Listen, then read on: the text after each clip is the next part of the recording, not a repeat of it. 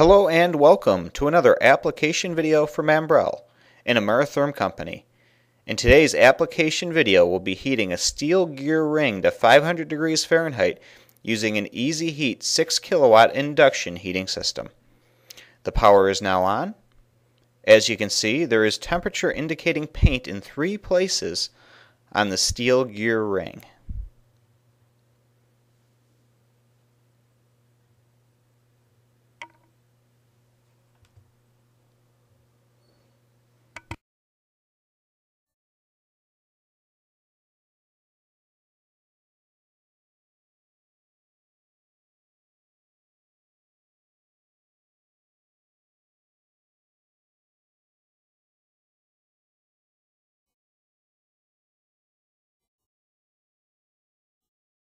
The pain is now beginning to disappear, meaning that we are approaching temperature.